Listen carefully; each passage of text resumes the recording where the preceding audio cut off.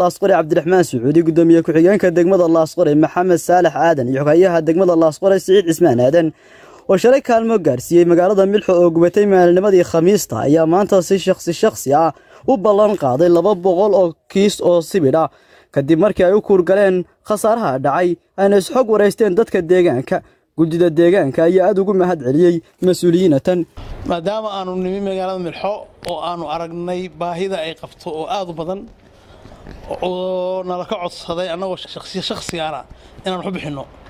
Duruufta jirta markaanu aragnay. Waxay u baahan tahay magaaladu qori iyo sibir iyo jiingad. Si looga gudbo qoryihii iyo buushashkii iyo wixii dabka fududaynayay marka anigoo ah maayirka degmada laasqoray shakhsiyadayda waxaan bixinayaa boqol kiisha oo sibira. Odayaasha codsigoodii baan fuliyey waxaan u dhiibayaa guddida dhimaanta ka idman magaalada oo ila fadhida hadda ila joogtaa saasaan ku dhammaynay markaanu aragnay waxyaabaha ka jira magaalada. Anigu waa maxamed saalax aadan gudoomiye ku-xigeenka degmada laasqoray markaan eegnay magaalada aanu aada ugu rakuulkulnay magaaladu waxay u baahan tahay baahi badan baa haysa baahi badan. Waxaa baahida ugu weyna waxaa weeye xagga dhismaha. Anigoo shakhsiyana waxaan ugu deeqayaa insha allah konton kiishoo sibidha waxaana ku wareejinaynaa insha allah kontonkaa sibirkaa guddida u idman magaalada oo baahideeda lagu ururinayo. Annagu ka maamul degma ahaan maanta haddaanu halkan nimi wixii aanu sinay degma ahaanna waanu guddidaan ku wareejinnay markii aanu soo marmarnay magaaladii iyo dhibta ka jirta iyo sida xaaladdu tahay guddidii magaaladana aanu fadhiis iyo waraysi xog waraysi aanu ka wada ka qaadnay waxaa nala ahaatay in wixii karaankayaga ah shakhsiyadeed. Wixii dowladda ahna dee iyadu warbixinteedii dee ka maamul ahaan degmo ahaan baan u gudbinaynaa. Marka ka shaqsi ahaan insha allahu tacaala kontonkiis baan guddida ku wareejinayaa. Waxaan halkan aan uga faa'iidaysanayaa qurbajoogta deegaanka iyo badhan anuu meel kale fariinu diri maayo cid kale fariinu diri maayo badhan waxaan leeyahay gobolka badhan iyo dadka ku nool ee deegaanka ah iyo qurbajooggooda dadkan halkan dhibtu intaa leeg soo gaadhay shanta cashana ay marayso afarta cashana ay marayso in looga kaco fadhiga laga kaco aan layska jiifjiifina fadhiga looga kaco. Anigoo ah guddidii ka mid a guddidii soo dhoweysay maamulka. Anugu mahadna maamulkii wixii ay noo keeneen oo heer maamula waa ka guddoonnay.